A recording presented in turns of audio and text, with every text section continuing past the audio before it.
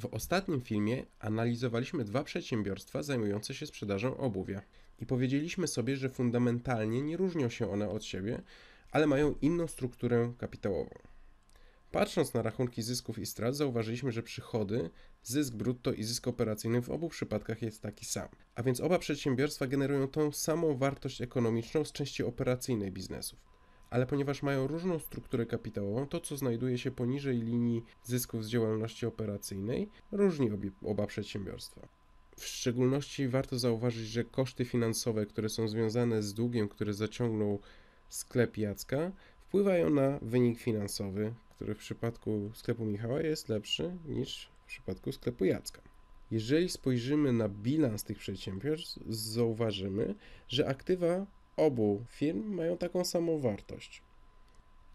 Po prawej stronie narysowałem diagram przedstawiający uproszczony bilans, ale konkretnie część dotyczącą aktywów obu przedsiębiorstw. I warto zauważyć, że w przypadku obu gotówka wynosi 20 tysięcy złotych, Oba przedsiębiorstwa posiadają towary o wartości 100 tysięcy złotych i oba są wyposażone w sprzęty, których wartość wynosi 20 tysięcy złotych. I to wszystko jest odzwierciedlone w schemacie bilansu. Natomiast to, co różni te firmy, to struktura pasywów. I to jest właśnie to, co miałem na myśli, mówiąc, że oba przedsiębiorstwa mają różne struktury kapitałowe. W ramach pasywów mamy zobowiązania, które są różne dla obu przedsiębiorstw.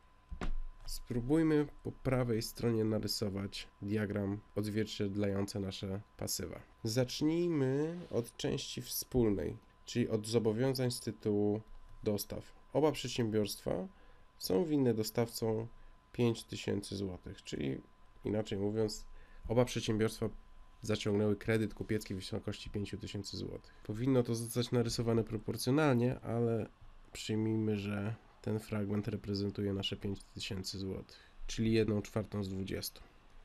Teraz punkt, w którym te przedsiębiorstwa tak naprawdę się różnią, czyli kredyt. W przypadku sklepu Jacka mamy pozycję o wysokości 100 tysięcy złotych i ten kredyt generuje koszty finansowe, które widzieliśmy wcześniej w naszym rachunku zysków i strat. Narysujmy ten kredyt o wartości 100 tysięcy złotych. To powinno się kończyć gdzieś tutaj.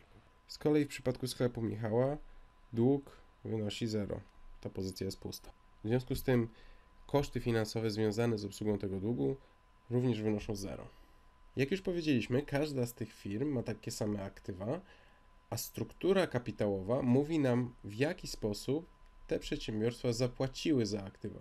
Czy zrobiły to zaciągając dług, czy przesunęły płatności w czasie, czy też może fundusze pochodzą z udziałów. Przypominam, że udziały, a w tym wypadku kapitał własny, to aktywa minus zobowiązania. Czyli w przypadku naszych przedsiębiorstw, jeżeli podsumujemy aktywa, wynoszą one 140 tysięcy złotych. Wobec tego wartość kapitału własnego w przypadku przedsiębiorstwa Michała to 140 minus 5 tysięcy złotych, czyli 135 tysięcy złotych. Z kolei w przypadku sklepu Jacka mamy, ponieważ mamy dług o wysokości 100 tysięcy złotych, mamy zobowiązania w wysokości 5 tysięcy złotych z tytułu dostaw, wobec czego nasz kapitał własny to 140 tysięcy minus 105, czyli 35 tysięcy. Jeszcze powinienem dorysować tutaj tysięcy.